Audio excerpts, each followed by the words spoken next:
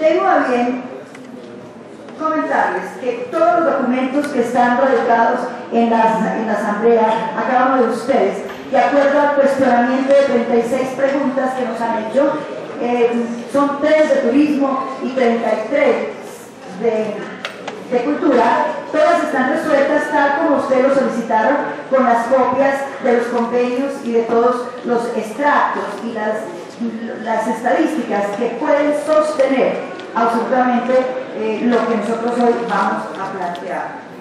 Pero antes de todo también quiero contarles que desde el comienzo del gobierno de este cuatrenio, como los anteriores cuatrenios, siempre la política pública en lo que es el momento del plan de desarrollo se ha hecho constructivo en todas las provincias, nos consta por las actas y por las 17 eh, eh, reuniones zonales en las provincias diferentes al comienzo del gobierno en el año 2012, donde allí construyeron todo lo que se pudo participar para los temas de cultura y de turismo del departamento. Con el Consejo Departamental de Planeación vimos cómo estuvieron avalando todo lo que traían a ustedes, señores, señores eh, y queridos y respetados diputados. Aquí se trajo el proyecto de plan de desarrollo y aquí ustedes lo avalaron, lo aprobaron y por la ordenanza respectiva es que todos nosotros estamos aplicando, estamos haciendo la ejecución de esa ordenanza, ese querer del mandato de ustedes para que nosotros podamos hoy venir a responder por esa ejecución de lo que ustedes aprobaron. Esta es una corresponsabilidad de ustedes y nuestra. Y qué dicha estos espacios para poder sustentar lo que ustedes nos observan y nos aplican para mejoramiento y lo que nosotros podemos sustentar para que también estemos aclarando situaciones que a veces no se conocen. Es indudable que todas esas sectoriales que estuvieron haciendo en las 15 mesas dan en las provincias para ser todo lo que en las metas tenemos que aquí hacer. Para nosotros los de cultura fueron exactamente 37 metas, de las cuales 34 están ya en una evaluación muy importante, como ustedes las van a ver. La cultura es un cultivo en general de las facultades humanas, como ustedes los artistas nos decían ayer, allá en un debate que tuvimos radial. Con esos conjuntos de conocimientos científicos de ustedes ya profesionales, con la literatura, con los artistas, la historia. ese es el contenido cultural que tiene una persona o que tiene un pueblo dentro de una época histórica. Porque no podemos hacer el reconocimiento de hace 40 años en la actualidad, que se aplican algunas cosas y son absolutamente para todos los tiempos, pero hay otras que por los cambios y la modernidad debemos acoplarla los mayores los intermedios y los menores. En la construcción de los niños, como afirmaban acá, a esos niños que son los que debemos responder cómo vamos construyendo la identidad, la pertenencia a través de todos estos procesos culturales.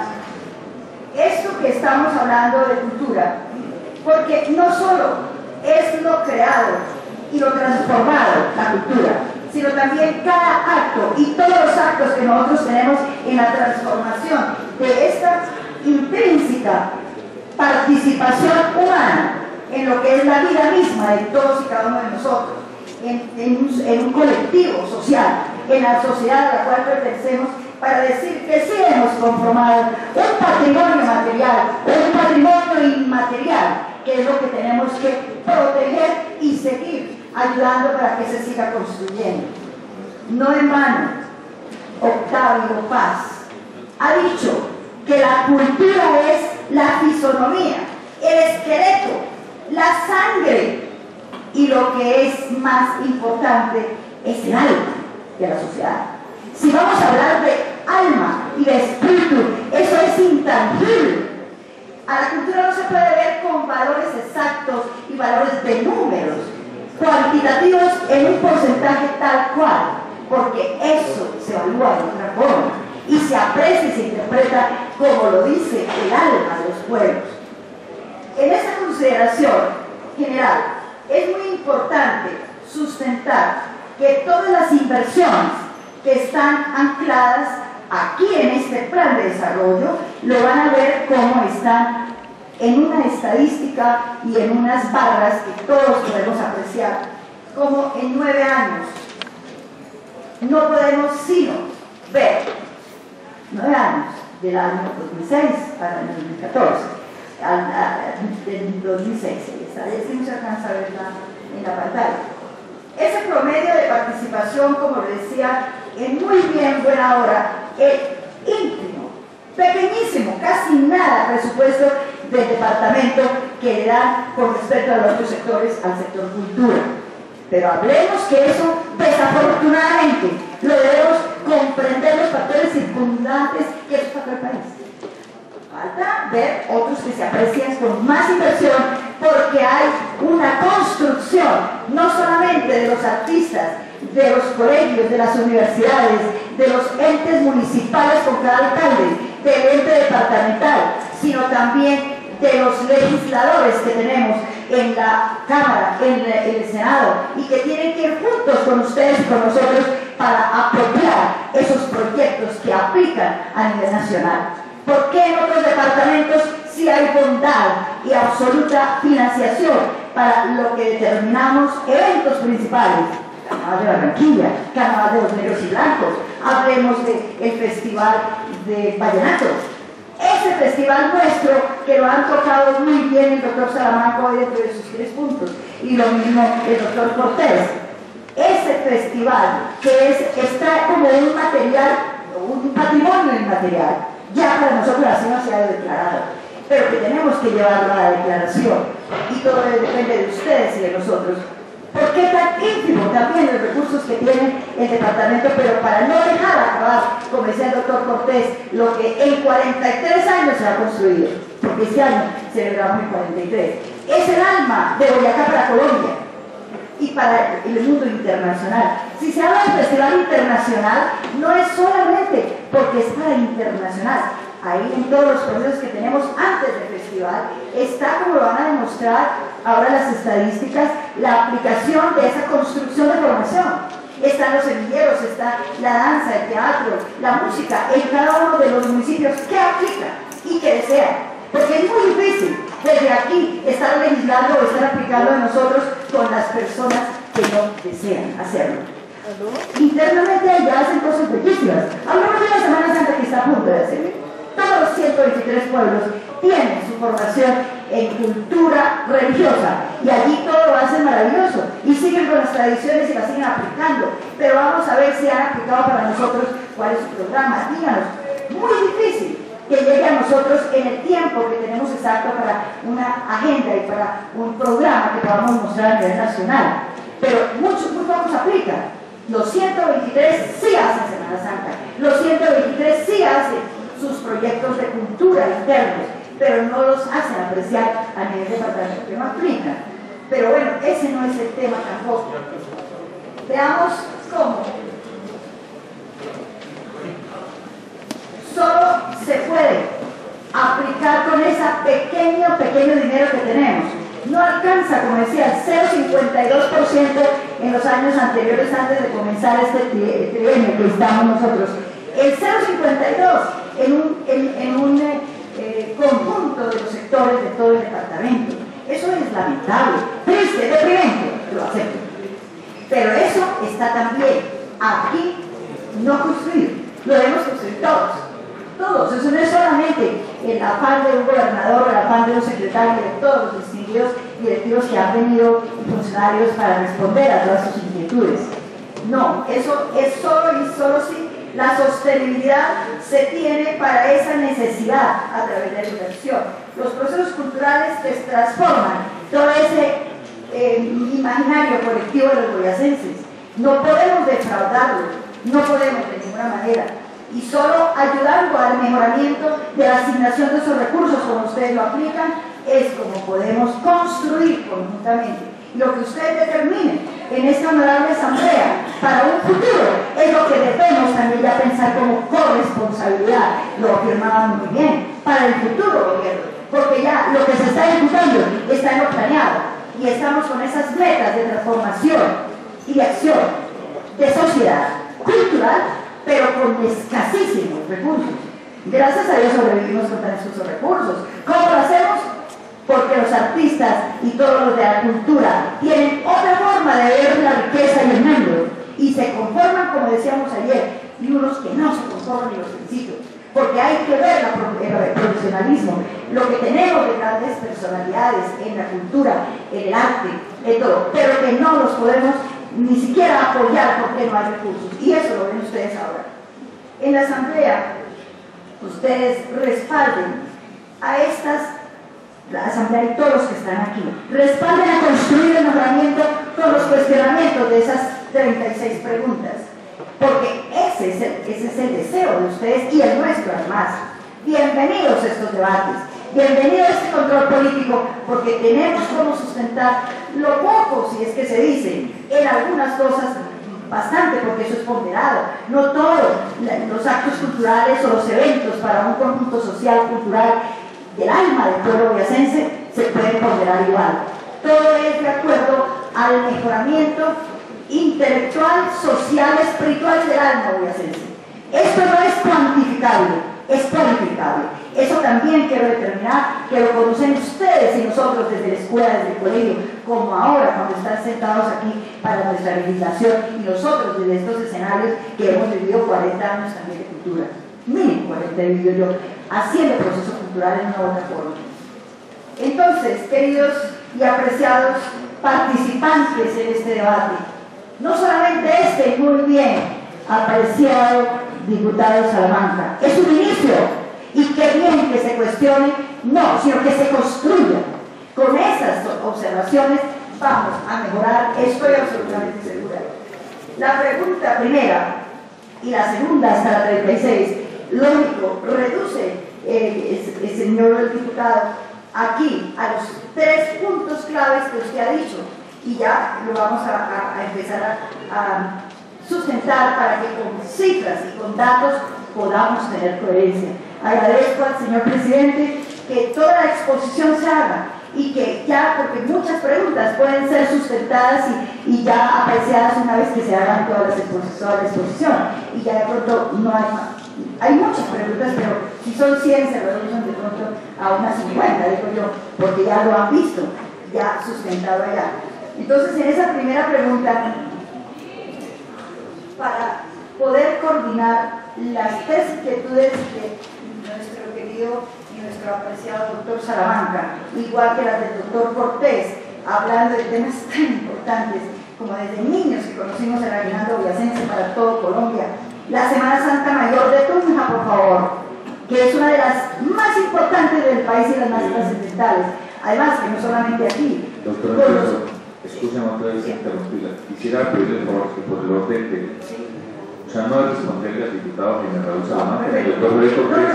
Nos vamos a remitir al cuestionario las respuestas para darle seriedad. Sí, perfecto, ya está aclarado. Eh, muchísimas gracias. Entonces, pero sí, las tres preguntas y las cuatro del doctor Cortés serán sustentadas. La primera pregunta, entonces, que da base para iniciar, le presento a la doctora como antes, a la doctora. Eh, Muñoz Vargas, quien es la representante de toda la cultura y conoce todo el proceso. ¿Cuál es el cumplimiento porcentual? Que es una de las cuestiones más importantes que tenemos, del plan de desarrollo departamental. Y relacionan las preguntas y proyectos ejecutados. Todo está en sus escritorios y está totalmente sustentado. Pero vemos también que ese porcentual del plan de desarrollo en los últimos tres años y en el, final de este cuatrenio, que es este, ha mejorado en un 2.8%, como lo ven ustedes en las estadísticas. Esa es una apreciación que es porque del 0.52 llegar al 2.8 es 2.5 tampoco es mayor cosa, pero bueno, se hizo.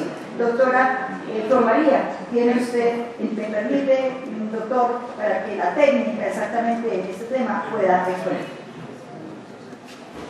La verdad, mi doctora Nelisol, es que escúchame, la, no quiero que se nos lo tomen a mal, pero lo que nosotros hemos buscado, y, eso es, eh, eh, creo que la, la, idea que tienen esta asamblea, es que la, la responsable o el responsable de cada que nos explique el cuestionario. Igual nosotros dimos un plazo, porque se nos alegaría mucho si, si viene la directora de Cultura, la directora de Turismo, entonces nos tocaría que se nos resumiera, eh, digamos, el cuestionario. Viene la intervención de los diputados. De hecho, ya están, ya están las respuestas ahí. Entonces, no sé, honorables diputados, porque nos alargaríamos si, estamos, si va pasando cada técnico a, dar respuesta a cada cosa. Tiene uso la palabra el ponente doctor de ese contexto. Gracias, presidente. Pero mire, con alguna regla de dos tres minuticos, cada, cada responsable del proceso local podríamos apoyar el tema, tocar los Eslovenia, y necesitamos tres minuticos a cada participante para que pues, con algo más concreto nos pueda explicar el presidente. Ok, bien. bueno, entonces ahí con, con respaldo de los ponentes, entonces eh, muy resumidamente, ya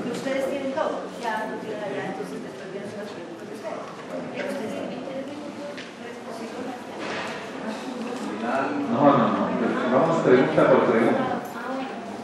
Eh, un cordial saludo para todos ustedes, señores eh, honorables diputados, para los miembros de la Secretaría, para los eh, artistas, que como bien lo dice el señor presidente, pues la mayoría no tenemos el gusto de conocernos.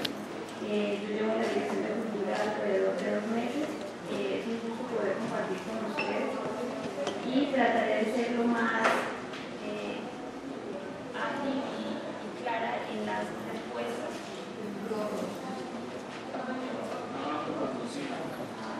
La tecnología. Ahí. Eh, bueno, eh, la primera, eh, empezando así como con las respuestas, es el cumplimiento de metas en cuanto al plan de desarrollo departamental. en nuestro plan de desarrollo, el sector cultura hace parte del programa eje social, eh, somos el 2.3, Cultura, Renovación y Riqueza Humana, está dividido en cuatro subprogramas y a su vez, como ya lo dijo la doctora Nelson, en 37 meses. A nivel de gobernación tenemos algo que se llama el tablero de control, tal vez ustedes lo han manejado, es una herramienta muy práctica que nos permite ver el cumplimiento de las metas eh, reflejado en colores como el semáforo, es decir, eh, vemos un rojo en nuestro primer programa que se llama Creación, Producción y Comercialización de Servicios Culturales, lo que demuestra que ahí tenemos algunos rezagos en el cumplimiento de, los, de las metas programadas. Las siguientes dos, que son formación artística y cultural y fortalecimiento del sistema departamental de cultura, están en amarillo, eh, están, si bien no eh, cumplidas, pues están dentro de, los tiempos y demás. Y la cuarta, cultura, patrimonio y memoria para la acción, está en un cumplimiento verde que muestra pues, que está de acuerdo a lo previsto en el plan de desarrollo. Eh, respecto a las metas con bajo nivel de cumplimiento, tenemos cuatro, que son una un poco difícil de importante recalcarlo, que es la profesionalización de cuatro líneas artísticas eh, desafortunadamente los procesos y las circunstancias nos impiden llegar al cumplimiento total de esta meta. y estamos trabajando mm, de manera adelantada en la profesionalización del área de teatro. La Secretaría, eh, es decir, la Gobernación de Boyacá ha firmado un convenio con el Ministerio de Cultura, el cual a su vez firmar un convenio con la Universidad de Antioquia, que será la eh, encargada de realizar el proceso como tal de formalización, de profesionalización de los artistas eh, en el área del teatro, que por cierto pues los invitamos a estar pendientes de este eh, importante proceso. Hay algunos y demás, pero es una muy buena oportunidad para que por fin tengamos este gran avance en el sector cultural y empezando pues por el área del teatro. Eh, otra de las metas que están en el rezago es el apoyar cuatro eventos eh, a las comunidades indígenas. A la fecha solamente hemos apoyado uno que se realizó el año pasado en Cubará.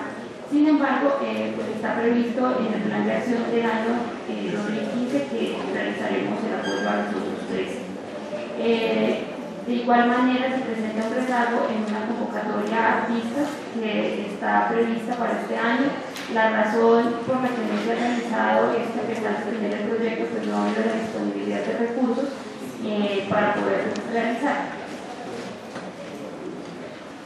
Eh, tenemos ahí la gráfica, pues desafortunadamente la un poquito, de acuerdo a la solicitud de puestos metas eh, propuestas son 37, tenemos un eh, porcentaje del 89.19% de metas cumplidas, nos faltan, eh, tenemos con, cuatro, con rezago las cuatro que les acabo de mencionar. En cuanto al presupuesto del sector cultura para la vigencia 2015, eh, dividido en los programas que nosotros tenemos de acuerdo al plan de desarrollo, eh, podemos ver que el total de los recursos para este año por 9.702.416.082 pesos.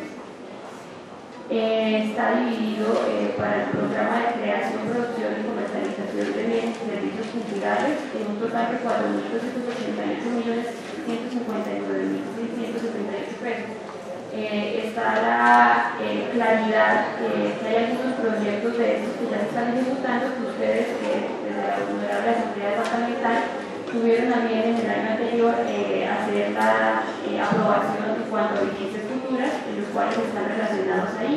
El valor que les acabo de mencionar es el valor total que incluye vigencias futuras más lo, lo, lo previsto para el año 2015.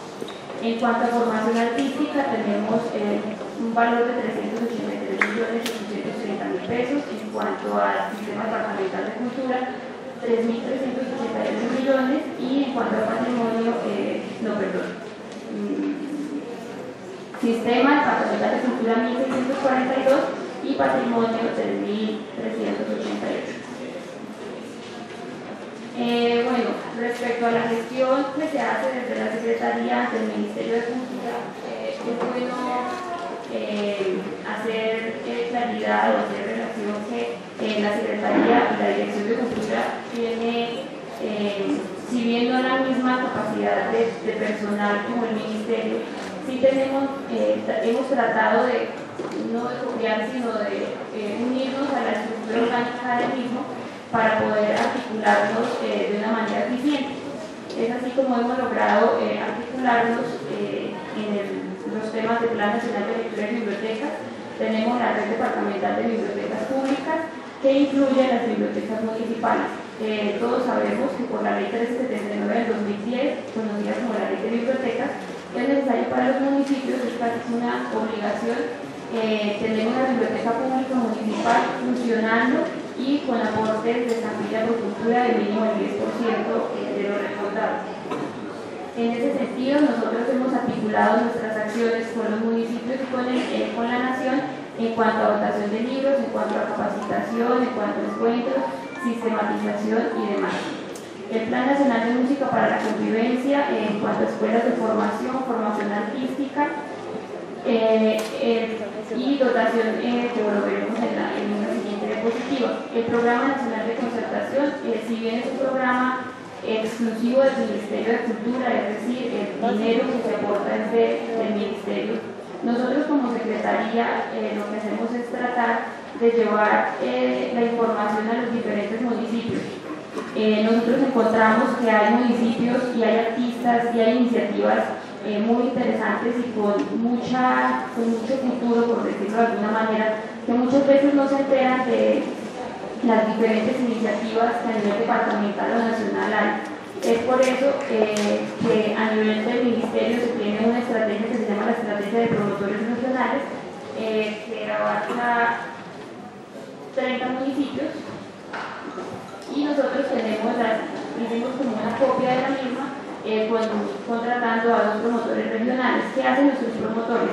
Visitan los municipios, hablando con las alcaldías, con los consejos municipales, con las personas encargadas de, cultura, ya sea el bibliotecario, ya sea el gestor cultural, de la oficina de cultura, dependiendo pues en cada municipio de la estructura orgánica que tengan, y eh, se hace como una sensibilización, socialización de las diferentes convocatorias que hay, de las diferentes oportunidades que hay y de las diferentes normatividades respecto a eh, estampilla de cultura, las bibliotecas, las escuelas de formación artística y demás. Muchos municipios encontramos que eh, ha sido un proceso el hecho de llegar a la formulación, por ejemplo, de la estampilla de cultura, de realizar la distribución de acuerdo a lo que en cuanto a las escuelas de formación artística, encontramos que en muchos municipios se tiene la banda o el grupo de danza, pero no tenemos a veces la conciencia de que estos son procesos